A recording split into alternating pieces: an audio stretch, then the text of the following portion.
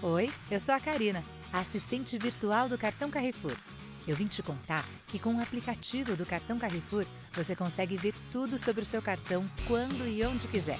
Ao abrir o app na tela inicial, você já tem acesso a algumas informações importantes, como qual o limite total do seu cartão, quanto de limite ainda tem disponível, seu melhor dia de compra, a data de vencimento e o valor da sua última fatura. E se você quiser conferir os últimos lançamentos da sua fatura e o total de compras parceladas, é só clicar na opção Ver Detalhes. Agora, vamos para a aba de Faturas.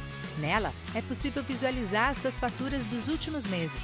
E em cada uma delas, você consegue ver seus lançamentos e gerar sua fatura com boleto em PDF ou gerar o código de barras para fazer o pagamento. E se você precisar parcelar o valor total da sua fatura, é só clicar no botão Parcele e seguir o passo a passo. Ah, já ia me esquecendo. Lá na aba de serviços, você também consegue fazer bastante coisa. Pode antecipar parcelas, contratar um crédito pessoal e até recarregar bilhete único e colocar créditos no seu celular. Legal, né? Viu só?